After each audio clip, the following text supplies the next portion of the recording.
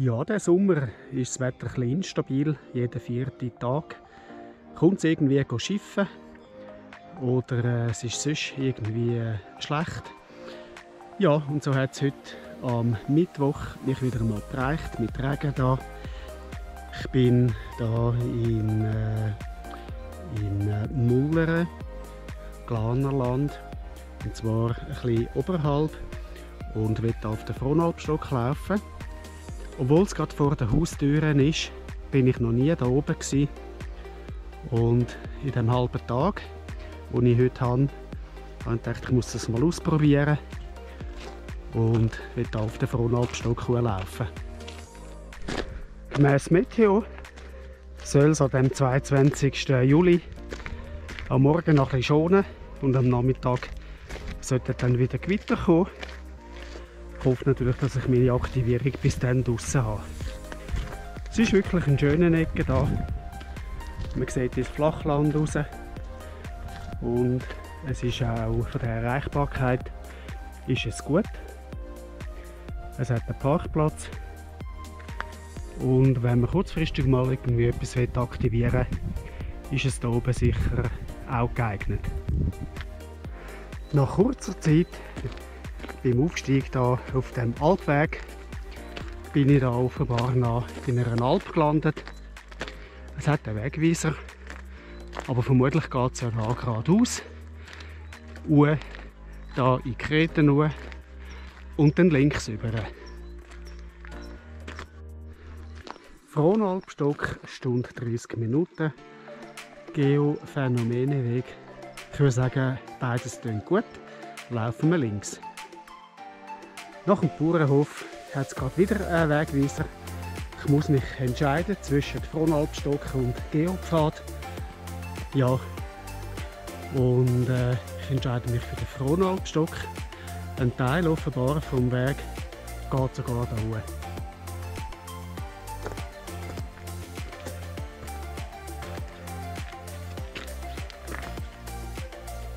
Die Farbe vom Weg ändert sich plötzlich auf Rot. Und äh, ja, die meisten äh, wissen, Rot, Felsen, Ferrucano. Wahrscheinlich da die Idee von dem Geopard, zum aufzeigen, was für verschiedene Steinsorten das es gibt und was da geologisch in der Vergangenheit alles passiert ist. Ja, sind wir gespannt, wie es weiter oben aussieht. Vielleicht können wir nachher wieder Kalkkarren. Lassen wir uns doch überraschen. Ich bin wieder auf den Alp gekommen und folge weiter dem Weiss-Rot-Weissweg, wo da hinter den Häusern weitergeht.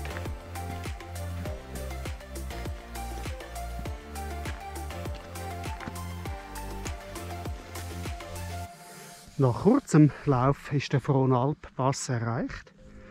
1848 Meter. Ja, und wir gehen jetzt nicht mehr weiter da. Ähm, Geophänomenweg, sondern wir gehen links, Uhr, weiß, blau, weiß, folgend Richtung Fronalpstock. Ich habe den Weg auch schon angeschaut von unten. Ich habe hier auch schon Schnellabstiegsrouten einmal ausgemacht, falls es äh, gleich würde noch gewittern kommen, dass man ein schneller oben runterkommt. Und ich habe heute auch aus Sicherheitsgründen auch Stigis und Pickel wieder dabei. Aber sonst eigentlich Lichtgepäck. Das geht richtig flott voran. Der Aufstieg da über die Alp ist geschafft. Und ich bin da auf dem Grat angekommen.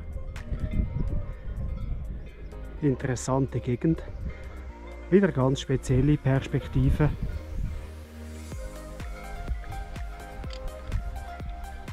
Würzenstück. Da hinten wahrscheinlich der Nünkamm, auch ein Soterberg.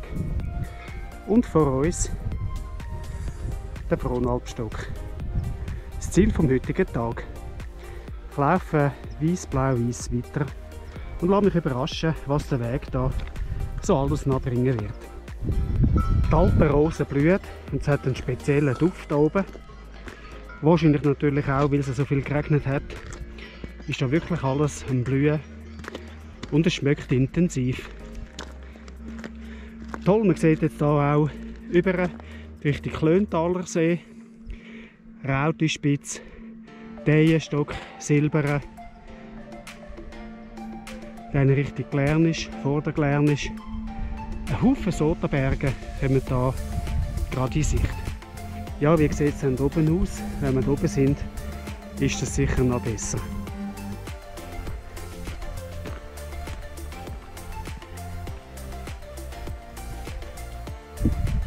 Es geht weiter hier, ein bisschen im Grat weiß, blau, weiß. Und wir folgen der Markierung. Der Weg traversiert über, ich sehe Richtung Rheine. Jetzt hat da vorne eine Rheine mit einem weiß, blau, weiß Zeichen davor. Vermutlich wird es irgendwo hochgehen. Ich deponiere die Stöcke, die helfen nicht hier oben und gehe jetzt die Rinne drauf. Das ist eine Komfortrinne mit einer schönen Kette, wo man sich heben kann. Lustig, ganz eine andere Rinne wieder hier im Graubünden oder im Tessin. Es ist alles eng da. Es liegt kein Schutt und lockere Stein.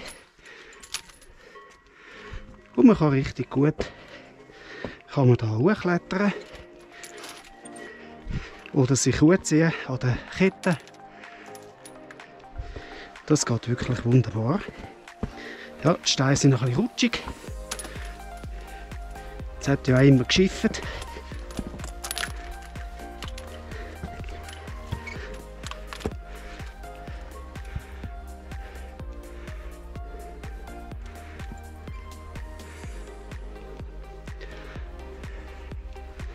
So. Schöne Trittli, gute Griff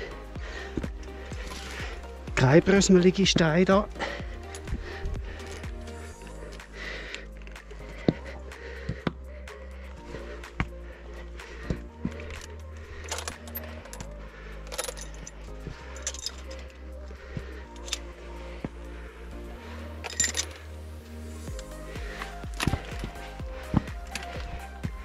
Ja, wirklich praktisch mit zwei Ketten. Wenn man genug Kraft hat in der Arm zieht man sich da einfach um.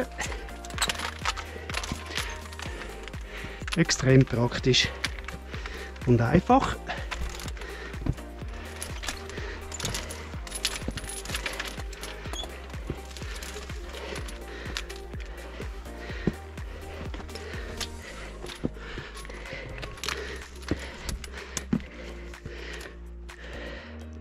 Blick runter.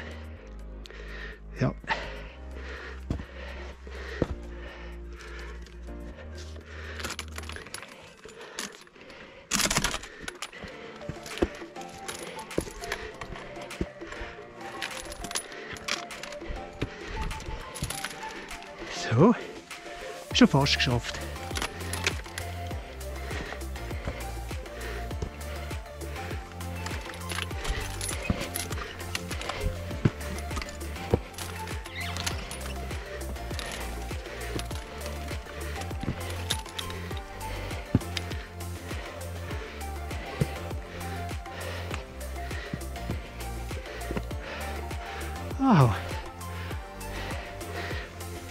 So sieht das aus. He? Da oben.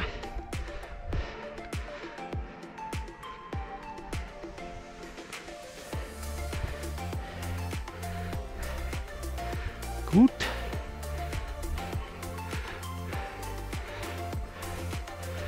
Ja, und es geht weiter da am Weiß-Blau-Weiß-Weg noch. So, es geht der restliche Teil noch darauf. Der Weg ist ein bisschen schmierig. Aha. Können wir noch Besuch über. Nochmal ein Helikopter. Naja.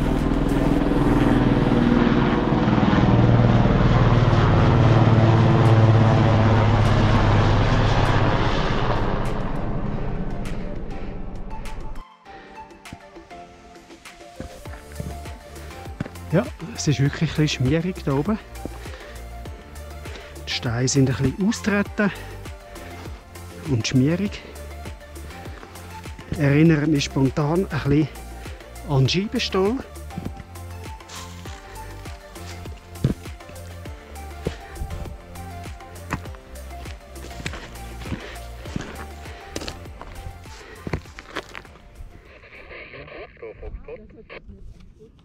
HB9 BXQ, HB9 PIM.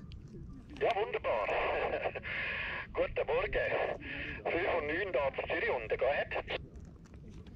HB9 BXQ, HB9 PIM. Ja, ja, 5.9 Plus kann ich hier auch verteilen. Das geht natürlich wunderbar. Wir haben fast Sichtverbindung hier auf der Glarner Frohnalbstock.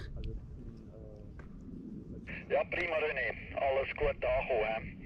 Es ist da quasi mein Hausberg. Ich war vorgestern im Naturfreundehaus und die letzte Woche auf dem Berg oben. Wie sieht es aus mit dem Wetter? Ja, bis jetzt ist es nicht schlecht. Jetzt, wo ich äh, gefahren bin, da hat es noch leicht geregnet. Es hat aufgehört, aber es wird wieder schlecht werden. Äh, sobald ich meine QSO da durch habe, werde ich auch wieder runtergehen. Äh, ja, es ist leider nicht stabil im Moment, das Wetter. Es ist alle drei, vier Tage haben wir, so wie es aussieht, Regen. Ja, ja, es ist ein bisschen so. Äh, aber kein Nebel oben, oder? Negativ, negativ. Nebel hat es keinen. Man sieht sogar ein bisschen rundherum. Aber einfach, äh, es ist bedeckt und äh, ein leichter Dunst liegt da über dem Land. Prima, dann wünsche ich da viel Glück und wieder einen guten Abstieg, gell? Hat mich gefreut. das ist ein richtiger Rennfänger auf der Frohnalbstock im Moment. 73, mach's gut und bis zum nächsten Mal. Ja, 73. Ciao, ciao, tschüss. Danke fürs Einrufen. Auf dem Frohnalbstock sind ein Haufen Verbindungen möglich gewesen. Das geht natürlich super von da oben, auch unter der Woche. Auf dem 2 Meter Band so oder so. Es ist ein klassischer Frontberg, wie ich dem sage, wo relativ weit vorne liegt. Da kommt man gut raus mit UKW. Und ich habe in kurzer Zeit habe ich da meine Liste voll gehabt. Irgendwann einmal sind keine Stationen mehr reingekommen, die angerufen haben. Und das ist für mich eigentlich auch das Signal, gewesen, da wieder langsam zusammenzuräumen. Zumal ja da eigentlich das Wetter nicht so gut angesagt ist. Und äh, ja, ich lasse es nicht nehmen, da noch schnell rundherum zu filmen und mache mich dann wieder langsam auf den Abstieg. Es geht den gleichen Weg wo wir da schon gefilmt haben, wieder retour. Und möchte mich an dieser Stelle darum auch schon verabschieden. Bis zum nächsten Mal. Danke fürs Zuschauen.